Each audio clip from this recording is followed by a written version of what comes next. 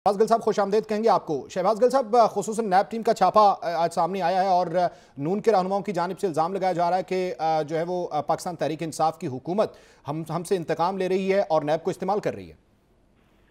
دیکھیے، نہ تو یہ مقدمات ہماری حکومت کے دوران بنے ہیں، ان میں سے کوئی مقدمہ بھی اور نہ ہی پچھلے پانچ سال ہم کے پی میں رہے، ہم نے کوئی پولیٹیکل وکٹمائزیشن کسی کے ساتھ کی ہے۔ عمران خان صاحب کی قیادت میں تحریک انصاف اور موجودہ حکومت اس چیز پہ اسٹرانگلی بلیو کرتی ہے کہ کسی قسم کی پولیٹیکل نہیں ہونی چاہیے۔ نیب ایک آزاد ادارہ ہے، انہوں نے انہیں ریلیز بھی دیا ہے۔ اگر ہماری انوالومنٹ ہوتی تو ان کو ریلیز کیسے دیتے؟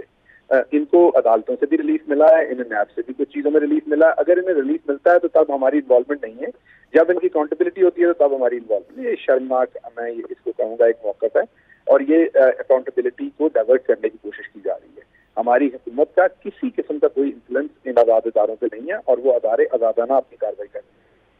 اچھا ڈاکٹر شہباز صاحب، یہ فرمائیے گا کہ خصوصاً جو نون لیگ کی جانب سے الزامات ہیں، وہ تو ظاہر پاکستان تحریک انصاف پر لگائے جا رہے ہیں کہ خصوصاً ٹارگٹ جو ہے وہ کیا جا رہا ہے۔ سلمان شہباز، حمزہ شہباز کے ان کے وارنٹ بھی جاری کر دیے گئے۔ وارنٹ بھی جاری ہو چکے، نیب کے پاس تمام قانونی تقاضے بھی پورے تھے، تو اس کے بعد نیب ٹیم نے کوئی گرفتاری وہاں پر نہیں کی؟ یہ آپ کو نیب سے پوچھنا پڑے گا سر۔ اگر مجھے اس بات کا پتا ہو تو پھر تو اس کا مطلب ہمارا انفلوئنس ہے ان کے اوپر۔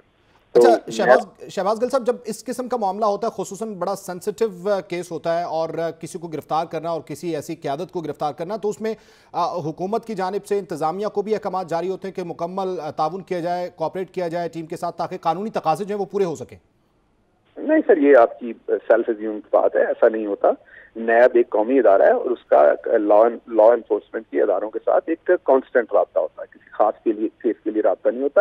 بلکہ کانسٹنٹ رابطہ ہوتا ہے ان کے لازم ہوتے ہیں ایک دوسرے کے ساتھ اور وہ اسی آپریشن آپریشنل کنیکشن کے تحت جو آئینی ہوتے ہیں ان کے اس کے تحت وہ اپنی کاروائی کرتے ہیں۔ اچھا گل صاحب پھر یہ مسلم لیگ نون جو ہے وہ حکومت کو ٹارگٹ کیوں کر رہی ہے؟ اور کیوں کہا جا رہا ہے کہ حکومت جو ہے وہ انتقام لے رہی ہے اور یہ گرفتاریاں اسی کی وجہ سے عمل میں لائی جا رہی ہیں؟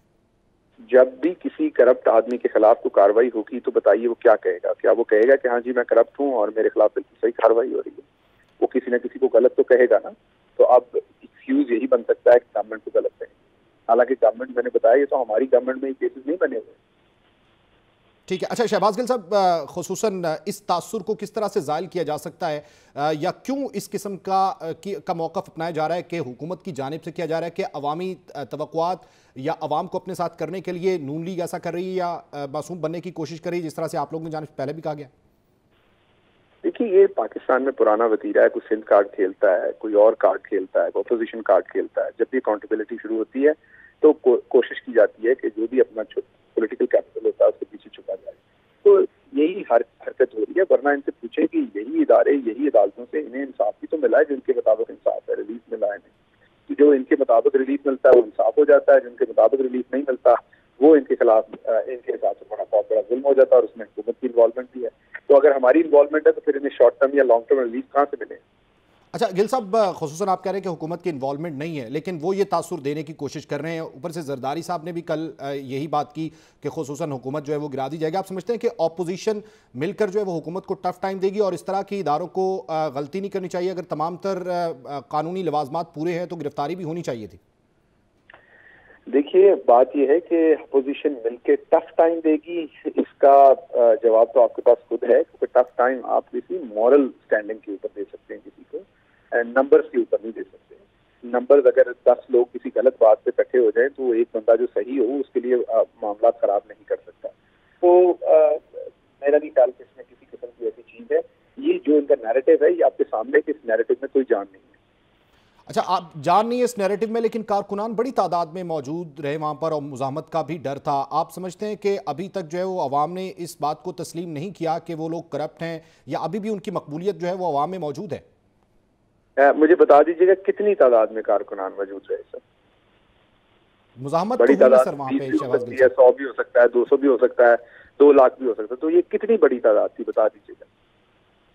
ٹھیک ہے۔ اچھا گل صاحب، یہ فرمائے گا کہ آئندہ اگر اس قسم کی کاروائی عمل میں لائی جاتی ہے یا اس قسم کا چھاپا جو ہے وہ مارا جاتا ہے یا کوئی گرفتاری عمل میں آتی ہے تو پھر اسی قسم کی مزاحمت جو ہے وہ سامنے ملحوظ خاطر رکھنی چاہیے اور اسی حوالے سے حکمت عملی بھی ترتیب دینی چاہیے اداروں کو میرے خیال۔ دیکھیے، دوبارہ یہ تو نیب نیب سے ریلیٹڈ سوال ہے۔ آپ میرے سے کریں گے تو میری، میں اپنی حدود سے باہر نکل کے اس کا جواب دوں گا جو مناسب نہیں ہے۔ نیب ایک انڈیپینڈنٹ ادارہ ہے۔ بالکل ان کو اپنے قانون اور آئین کے مطابق ہر ادارے کو کام کرنا چاہیے۔ انہیں بھی کرنا چاہیے۔ مجھے بھی کرنا چاہیے۔ آپ کو بھی کرنا چاہیے۔ تو میرے خیال میں نیب نے کیا ہوگا۔ اگر نہیں کیا تو ان سے پوچھا جانا چاہیے۔ یہ تو آپ کو ان سے ڈائریکٹ سوال کرنا پڑے گا۔ ٹھیک ہے۔ بہت شکریہ آپ کا، ڈاکٹر شہباز گل صاحب، ترجمان پنجاب حکومت۔ اس وقت گفتگو کر رہے تھے۔